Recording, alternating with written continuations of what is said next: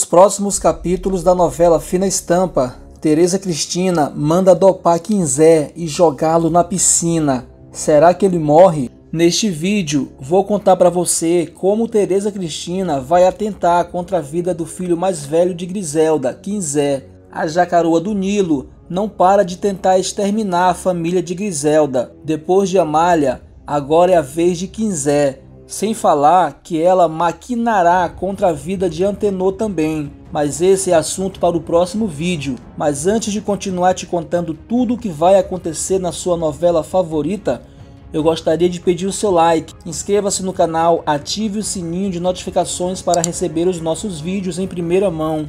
Tereza Cristina liga mais uma vez para Ferdinand, chamando para conversar na sua sauna. Ela fala para o mau caráter que quer ver o filho mais velho, o braço direito de Griselda morto, pois matando Quinzé, ela atingirá a ex-faz-tudo fortemente. Então ela conta o plano para Ferdinand. Ele contrata uma loira muito bonita para colocar no caminho de Quinzé como isca para chamar a atenção do rapaz. A loira vai à loja do Pereirão fingindo ser cliente e pede ajuda a Quinzé dizendo que quer comprar telhas.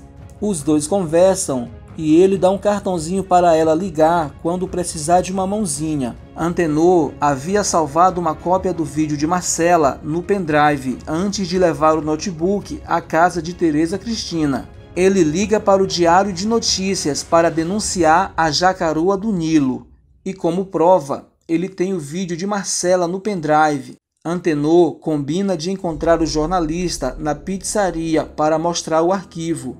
O rapaz leva um notebook. Antenor dá o pendrive para ele visualizar a bomba, mas após o jornalista espetar o pendrive no notebook, Griselda chega e arranca o objeto do laptop. Antenor fica furioso e pede desculpas ao jornalista, mas ele diz que no momento em que espetou o pendrive no notebook, ele deu logo o comando para copiar o arquivo, e com isso, ele ficou com uma cópia. Depois de outros capítulos, a loira liga para o pai de Quinzinho, dizendo que está precisando conversar sobre as dicas de compra das telhas. Eles vão para a beira da piscina da mansão de Griselda, beber, conversar e namorar. Teodora chega no Marapém de Dreams para ver Quinzé. Os seguranças acabam deixando ela entrar. Enquanto isso, Quinzé e a loira se divertem. A garota sai da piscina e pede uma toalha para o rapaz. Então ele vai buscar. A loira aproveita para colocar Boa Noite Cinderela na bebida dele. Quando ele volta, os dois começam a se beijar, mas na sequência, a loira diz que propõe um brinde aos dois e afirma também que eles precisam beber para ter mais clima. Então, eles começam a beber. Quinzé pega a taça com a bebida envenenada e toma. Ele começa a namorar com a loira, mas em seguida ele reclama dizendo que não está bem ela, fingindo que não sabe de nada, pergunta para ele o que ele está sentindo, o que está acontecendo. Ele continua dizendo que está passando mal. Em seguida, ele começa a se aproximar da piscina. Enquanto isso, a loira corre para onde Ferdinand está. O chefe da segurança do Marapende Dreams efetua o restante do pagamento dela. Ferdinand diz para ela não falar para ninguém, para o bem dela. Ela sai dizendo que nunca esteve ali. Quinzé fica passando muito mal ali na beira da piscina. Ferdinand, vendo a situação de Quinzé, chega por trás e o empurra com o pé para dentro da piscina.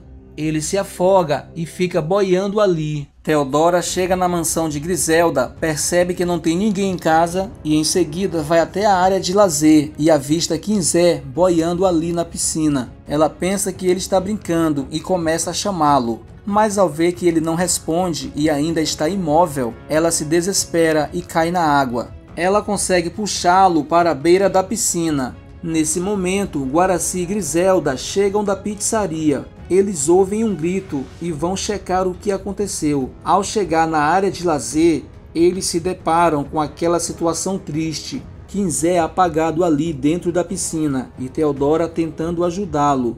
No primeiro instante, Griselda até pensa que foi Teodora a culpada, mas depois vê que ela está ali ajudando mesmo. Guaraci entra na piscina para puxar Quinzé de dentro d'água.